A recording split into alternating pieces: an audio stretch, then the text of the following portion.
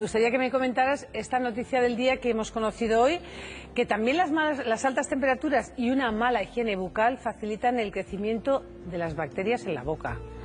¿Qué pasa? Que los, los dentistas nos avisan. En verano, ¿qué hacemos? Salimos a comer más, comemos helados, comemos refrescos, comemos distinto.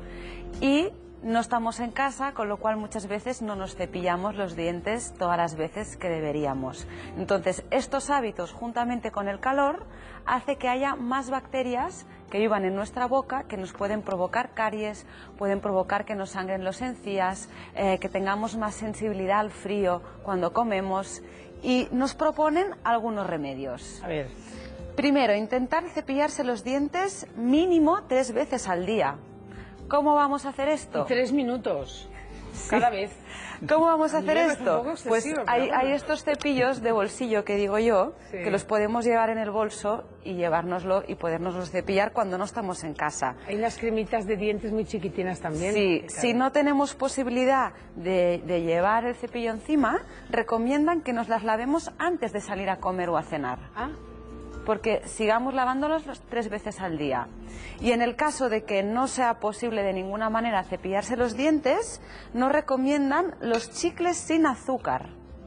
eso me parece más práctico. Bueno, mm, sí no. El chicle sin azúcar lo que va a hacer es subir la- el pH de la boca, intentar que las, eh, evitar que las bacterias crezcan tan libremente, pero no sustituye el cepillado. Es decir, es una, una medida, mm, bueno, Provisional. provisional Vale. hasta que nos podamos cepillar los dientes. Luego también nos recomiendan utilizar eh, hilo dental una vez al día, sobre todo por la noche, para, para la la comida que pueda quedar entre los dientes.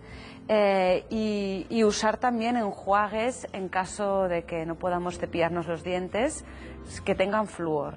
El flúor, tanto en los enjuagues como en la pasta de dientes, también ayuda a remineralizar y luchar contra las bacterias de la boca. Y también nos recomiendan mm, que la saliva, bueno, para que la saliva eh, pueda hacer su función, haya- sea de calidad y haya suficiente saliva, que bebamos agua. O sea, que el agua también va bien para la salud bucal eh, para el verano. Al menos dos litros de agua al día nos ayudarán a tener mejor salivación. No habíamos quedado que con uno y medio era suficiente, cada día nos Los, ponéis más. los ¿eh? dentistas dicen ya- dos. Los dentistas Los dicen dos. dentistas dicen dos. Bueno, ahora estaba pensando yo, doctor, que los señores, porque las chicas en el bolso nos cabe de todo, cepillo de dientes, chicles, no sé qué, pero los señores lo tenéis más complicado, ¿no? Bueno, yo, yo- saco un cero en higiene vocal de, de- de verano, ¿eh? Sí, ¿verdad? Fatal, fatal. Yo saco un cero ahora mismo. Suspendidos. Sí. Bueno, dicen que los, que los médicos no son los mejores, digamos, los, pacientes, Los ¿no? peores pacientes creo que Peores somos, sí, sí, sí, pacientes. sin lugar a dudas. Bueno, vamos a hablar de los resfriados